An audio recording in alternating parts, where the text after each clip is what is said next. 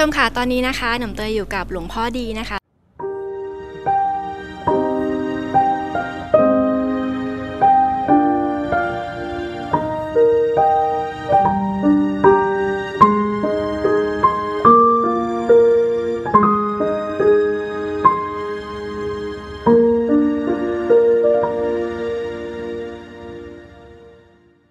านเดินทางมาจากจังหวัดเพชรบูรณ์ เพื่อมาร่วมงานในวันนี้นะคะและต้องบอกนะคะว่าหลวงพ่อดีเนี่ยท่านมีโครงการดีๆเกี่ยวกับพระบาทสมเด็จพระเจ้าอยู่หัว ในรัชกาลที่ 9 เป็นอย่างมากนะคะ จะเป็นโครงการอะไรนั้นนะคะ แน่นอนค่ะว่าเราต้องถามท่านนะคะ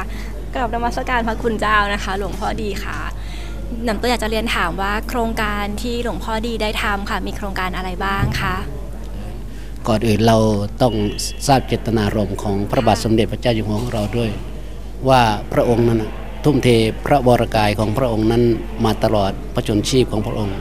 และก็เป็นสถิตอยู่ในดวงใจของพวกเราทุกหมู่ทุกเราใช่ค่ะทีนี้พวกเราเนี่ยที่บอกว่าเคารพนะเคารพอะไรในตัวพระองค์ค่ะทุกนี้ประชาชนทั้งหลายต้องเข้าใจพระองค์มอบทุกสิ่งทุกอย่างให้กับพวกเราแล้วเนี่ยพระวรกายของพระองค์เหน็ดเหนื่อยเมื่อยล้ามาตลอดทั้งประชนพระองค์ ดังนั้นอาตมาภาพเองเนี่ยซึ่งอยู่ภายใต้พระบรมโพธิสัมภารและก็เป็นพระที่มีแต่ความว่างเปล่า ตอนนี้เราไม่ปรารถนาอะไร เราปรารถนาให้โลกของเรานี้ร่มเย็นสงบเกิดสันติภาพขึ้น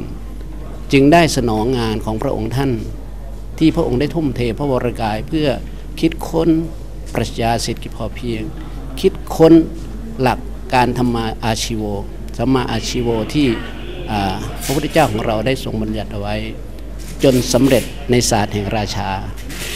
เราจะมีสองอย่างในดวงจิตของของอาตมานั้นอาตมามองว่าธรรมราชาคือว่าศาสตร์ของพระราชานั้นธรรมราชาธรรมะหนึ่งก็คือพระพระพุทธเจ้าของเราได้อุบัติขึ้นมาในโลกนี้ตรัสรู้แล้วในหนทางแห่งออกแห่งความดับทุกข์ส่วนอีกพระองค์หนึ่งก็คือพระบาทสมเด็จพระเจ้าอยู่หัวของเรา คือเศรษฐกิจพอเพียง ดังนั้นเนี่ยที่ประชาชนชาวไทยทั้งหลายเนี่ยที่บอกว่ารักเคารพเทือทูนพระองค์นั้น แล้วอยากเดินตามพระองค์ทำหรือยังมัวแต่รอกเรียงเรียกเรียกร้องสิทธิเสรี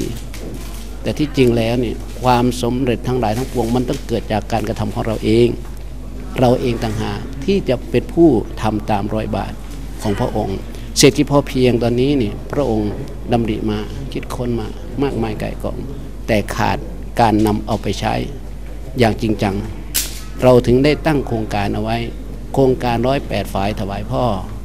หมู่บ้านพุทธพัฒนาปรัชญาเศรษฐกิจพอเพียงขึ้น ที่จังหวัดเพชรบูรณ์ ด้วยการนำของผู้นำชาวบ้าน ผู้นำชุมชน เราจะสร้างองค์กรหมอน้อยขึ้นมาคำว่าหมอน้อยก็คือผู้ที่ดูแลตัวเอง พึ่งพาตนเองเป็นหลัก หยุดการเบียดเบียนทุกชนิดนะเพราะเราเห็นความจริงแล้วว่า ในโลกของเรานั้นน่ะถ้าเราขาดน้ำแล้ว โลกของเราจะอยู่ไม่ได้ ธรรมชาติทั้งหลายนั้นก็จะสูญสลายไป นี่แหละการคิดค้นโครงการร้อยแปดฝ่ายถวายพ่อหนึ่งเพื่อเป็นบูชาในสิ่งที่พระองค์ได้ทำเอาไว้ ธรรมะที่พระองค์ได้มอบเอาไว้นั้น สูงยิ่งนะ พวกเรามองไม่ออกค่ะพวกเรายังมองไม่ออก พระองค์พยายามทุ่มเทพระวรากาย ทั้งอ่าพระบะพระชนนีของพวกเรา ก็ได้ทุ่มเทสิ่งเหล่านี้แหละอยู่ใต้จิตสำนึกของอาตมา เมื่อก่อนไม่เข้าใจพระองค์ แต่ตอนนี้เราเกิดปัญญาแล้ว เข้าใจในสิ่งเหล่านั้นแล้ว จึงได้ทุ่มเทสิ่งเหล่านี้ ใครจะว่าใครจะตำหนิอะไรก็แล้วแต่ สิ่งนั้นคือสิ่งที่ประเสริฐที่สุด ธรรมชาติเกิดจากน้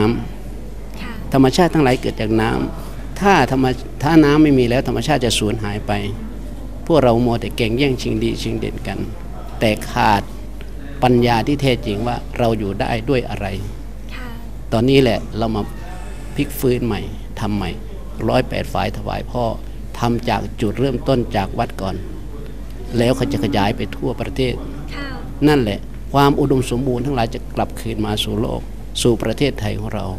เราต้องทำจุดของเราก่อน จากประเทศไทยของเราก่อน หมู่บ้านพุทธพัฒนาประชาเศรษฐกิจพอเพียง เราจะค่อยดำเนินการไป อยู่แบบพอดีพอเพียงพอกินพอใช้ และจำหน่ายให้คนทั่วโลก เราต้องเป็นอู่ข้าวอู่น้ำให้กับสังคมโลกใช่ตอนนี้โลกกำลังวุ่นวาย ขาดซึ่งปัญญาอาตมาไม่มีอะไรที่จะรับแล้ว ไม่มีอะไรแล้ว ไม่ต้องการสิ่งใดค่ะไม่ค้นหาอะไรแล้ว จบจบการแสวงหา จบการค้นหา จิตดวงนี้คือมอบไว้กับพระพุทธศาสนาค่ะมอบไว้กับแผ่นดิน เพราะฉะนั้นมีแค่หนึ่งสมองสองมือสองเท้าก้าวทำหน้าที่สร้างแต่กรรมดีไม่มีตัวตน นี่คือหนทางแห่งการกระทำต่อไป สิ่งที่เราจะนำต่อไปก็คือนำมหาชนทั้งหลาย เข้าสู่ความหลุดพ้น เข้าสู่ความสงบ เข้าสู่ความเย็น สงบขณะที่ยังมีชีวิตอยู่ค่ะดับธาตุขันธ์ไปแล้ว เราก็ สงบ เราต้องรู้ขณะที่เรายังมีชีวิตอยู่ ไม่ใช่ตายไปแล้วค่อยรู้ค่ะไม่ใช่คนไม่ปรารถนา คนปรารถนาแต่ขาดปัญญา ไม่มีใครนำพาที่แท้จริง มีแต่การมอมเมาหลอกลวง ต้มตุนการโกหกโปปดมดเท็จสร้างภาพขึ้นมาหลอกกัน ทุกวันนี้มากมายกายกองเหลือเกินค่ะตอนนี้แหละเป็นหนทางออกอาตมาภาพเนี่ยยินดีในงานเหล่านี้ สิ่งเหล่านี้มันชื่นใจตั้งแต่ได้รับว่าโอ้โยมนุชได้จัดงานอย่างนี้ขึ้นมา ก็ยินดีเพราะเราร่วมงานกันมาหลายงานแล้ว ในสิ่งเหล่านี้ก็คือเข้าใจสิ่งที่พวกเราทำนั้น มันต้องได้รับการอุดหนุนคำชูซึ่งกันและกัน ความดีพระองค์ได้ตรัสเอาไว้ เราจะให้คนดีเกิดขึ้นทั่วโลกไม่ได้ แต่ทำอย่างไรเล่าที่จะให้คนดีนั้นมาเพื่อบริหารประเทศ คนดีนั้นหลอมรวมกันมาช่วยประเทศของเรา มาช่วยโลกของเราต่างหากเราห้ามให้คนไม่เป็นเป็นคนดีไม่ได้ เป็นคนเลวไม่ได้ แต่ทำยังไงตัวเราเองต่างหากค่ะเป็นคนดีหรือยังช่วยโลกของเราหรือยังค่ะช่วยคนอื่นหรือยังค่ะตามหลักของพุทธศาสนาของเรานั้น การสร้างสันติภาพสู่สันติสุขนั้นก็คือลดการเบียดเบียน อยู่แค่ศีลห้านี้ทุกอย่างสงบเย็นสบาย ไม่มีอะไรเลย นั่นเลยคือหลักของการสร้างสันติภาพค่ะไม่ใช่ยกตนเองขึ้นมาแล้วก็ไปข่มขู่ชาวบ้านเขาไม่ใช่ทำจากเราต่างหากเราดีกับเขา เขาดีกับเรา นั่นคือกฎเกณฑ์แห่งกรรม กรรมต่างหากที่จะทำให้เราได้เกิดผล ปริยัติปฏิบัติเวทเราปฏิบัติหรือยัง เราอยากมีความสุขเราทำขึ้นหรือยัง กรรมเราทำหรือยังค่ะ อยู่ที่การกระทำของเรา กรรมส่งผลให้เราได้มีความสุข กรรมส่งผลให้เรามีความทุกข์เกิดจากการกระทำนี่แหละ โครงการร้อยแปดฝ่ายทำเพื่ออะไร เพื่อหนึ่งต้นไม้ใบหญ้า ภูเขาลำเนาภัย มีแหล่งน้ำค่ะที่จะคอยหล่อเลี้ยงหล่อหลอม ให้ภูเขาได้เขียวขจี ครั้งที่สองก็คือเราจะได้มีน้ำใช้ได้เบื้องล่าง เพราะน้ำที่อยู่ข้างบนมันจะค่อยซึมลงข้างล่าง ประชาชนข้างล่างก็จะได้รับประโยชน์ค่ะ แต่ตอนนี้เรามองไม่ออก เราขาดการจัดการดูแลเทือกเขาของเราอย่างมีระเบียบไม่มี ตอนนี้ขาดการจัดการค่ะอาตมาภาพเป็นพระ เรากำลังจะสร้างมหาวิทยาลัยสงฆ์มหาวิทยาลัยสงฆ์ของเราคือเดนแดน ทุดงค์พระกินน้อยใช้น้อยค่ะปฏิบัติให้มาก ในเราเพียรให้มากเข้า พระต้องอยู่ในป่า จริงเหล่านี้แหละเรากำลังจะทำให้เอ่อพ ระอริยะทั้งหลายได้เกิดขึ้น คือผู้เลิศด้วยปัญญา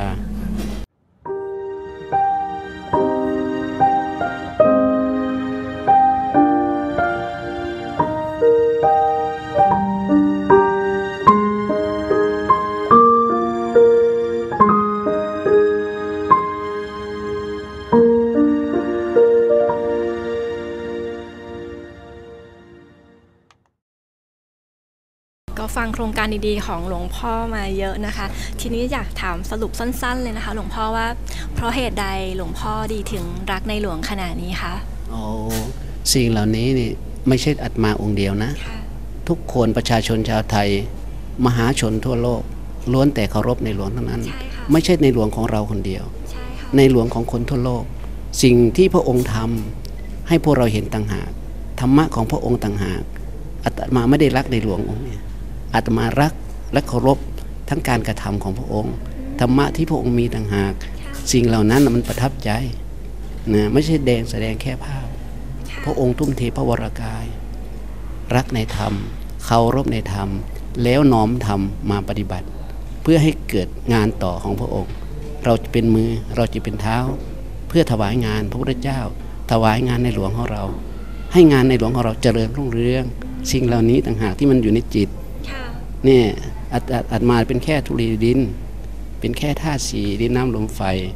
พร้อมที่จะสร้างเหตุปัจจัยที่ในหลวงทรงเอาไว้ดำริเอาไว้ดำรัสเอาไว้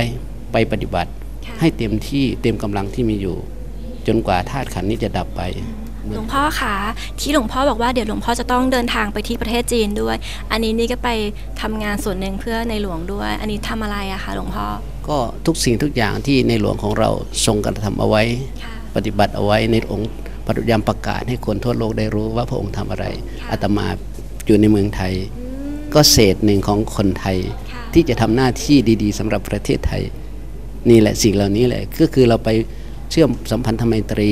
ให้พระทางโน้นได้รับว่าพระไทยเราทำแบบไหนกำลังจะทำอะไรเออเราจะร่วมกันอย่างไรค่ะจะไม่มีการขัดแย้งในธรรมทั้งหลายทั้งปวงทุกชาติทุกศาสนาอาตมาไม่เคยมองว่า จะมีจุด เพราะเราเข้าใจในพุทธศาสนาดี แจ้งในศาสนาดี ศาสนาของเรานั้นเหมือนกับมนุษย์อวกาศที่เข้าสู่อ่าอวกาศแล้วค่ะนะแต่ที่อื่นยังอยู่ระดับนะก็คือเข้าใจกันพระเจ้าของเราเป็นผู้ที่หลุดหลุดออกจากห่วงแห่งทุกข์ทั้งหลายทั้งปวงค่ะสาวกทั้งหลายก็ออกได้อืมพระพุทธเจ้าไม่มีการอุปโลกยกเมฆค่ะ มีแต่ความจริงเป็นสัจธรรม เป็นวิทยาศาสตร์ล้ำยุค นี่คือศาสนาพุทธ ในหลวงของเราเดินตาม แห่งพุทธะ เป็นตัวแทนแห่งพุทธะ เรามีมีพระบาทสมเด็จพระเจ้าอยู่หัวผู้เดินตามค่ะเราต้องเดินตามได้นะสาธุทุกขอบท่านพระคุณค่ะ สาธุค่ะ